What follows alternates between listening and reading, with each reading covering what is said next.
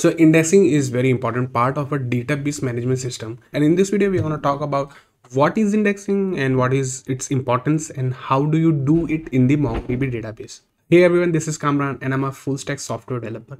And in this video series, I'm teaching MongoDB to beginners. And in this video, I'm going to talk about what is indexing and its importance in the software development lifecycle and how you can do in the MongoDB instance itself. So if you are new here, I would suggest you to hit the subscribe button so that you never miss any awesome videos in web development anytime. So first let's talk about what is index. I hope you all know the basic concepts of database like how the database stores data in the itself. There are tables in the database and in the MongoDB we, we have collections and in each collections we have documents. So each document is a new entry for each new entry in that particular collection. So let's say if I create a collection of users in which I'm going to store the data of a user inside that collection. So whenever I'm going to enter a new user information inside that collection, then a new document will be created.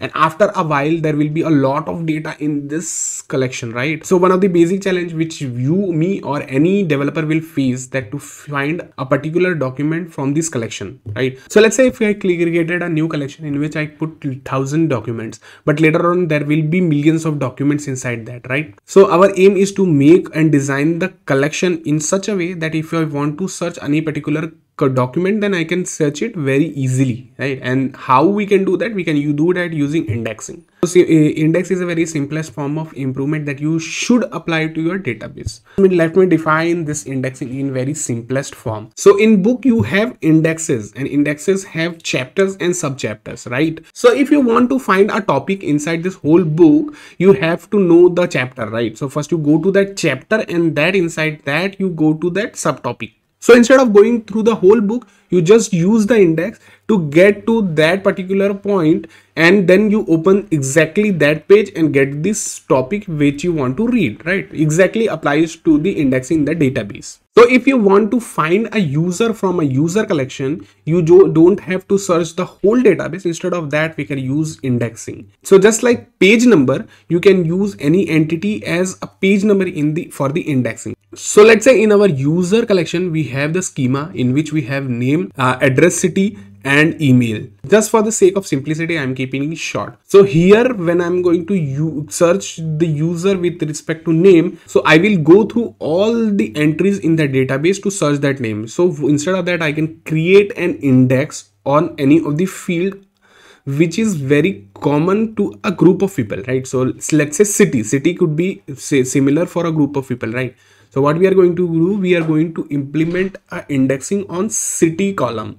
So once I do that, so all the user entry with the same city will combine in a group and will be kept at one place. In that way, if I want to search a user, then I can use that city index to find that user. And you can also apply indexing on multiple columns and that will reduce the searching time even more. But as i said that will increase the inserting time as well and it will also increase the complexity of the structure of the database which is not much recommended. Or you can do it but with very carefully so let's see how we can apply indexing in MongoDB database practically. So in order to demonstrate this indexing, I have created a separate uh, collection and in which I'm going to apply an index and show you how it helps to make the find or the get query out of this MongoDB instance. So here you can see that we have a text indexing as a new document in which we are going to test our indexing. So I have created this test indexing as a dummy collection in which I have already added 1 lakh entries of a user and user is the simplest one in which I have added name, city and the age. So here name is just a name with some random number appended to it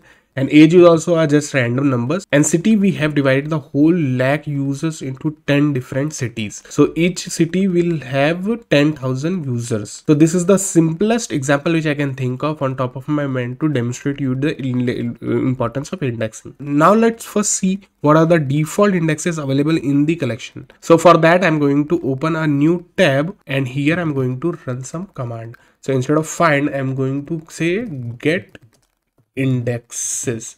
And this method will get me all the indexes only so in any collection by default we have indexes on id column.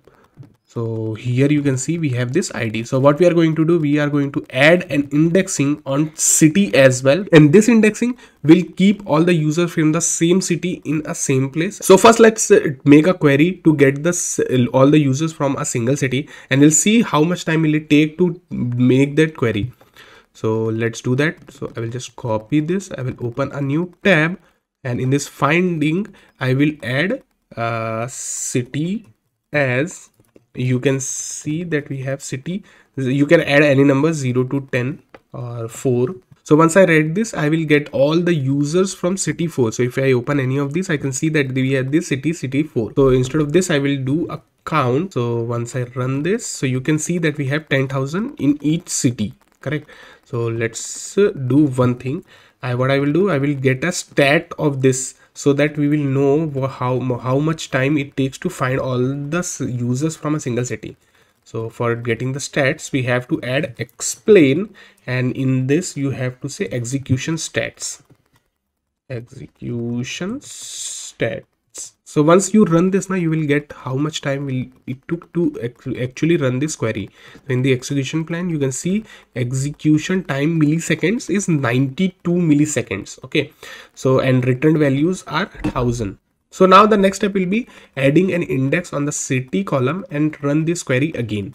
So let's do that. So i will open a new tab to create a new index. So creating index is simple. You just have to say create an index. And in this you have to pass the column. So here i will say city and the value will be 1 so this will create an index on city. So let's run this. So once i run this we have some values written. And in this return value you can see we have number of indexes before as 1 and after we have 2 so we can also run get index again and once you run this you will get two different. And the second one will be city. So you can see here it is city. So now let's test that stat again. So here if i run this again so i open this. So here execution stats execution time is almost half now. So it is 50 milliseconds. And same results are returning from this. So this is how you can reduce the execution time by adding indexing on the any column. So you have to be very careful uh, when you are adding an indexing and you have to be choose the column wisely so that you can get the most benefit out of this indexing in your application and also if you want to run your mongodb queries in such a beautiful way then you can use robo3t which is a free interface available to run any database. So here i'm just using mongodb you can use any other db as well. And you have to keep in mind that more indexes you introduce in your collection the faster the get query will be but the put or the adding query will be slower I hope you got the basic idea of indexing. And so if you want a video on detail of indexing in MongoDB then you can comment it down so that I can pick it up in the next video. Thanks for watching. And before leaving hit the subscribe button if you haven't already done that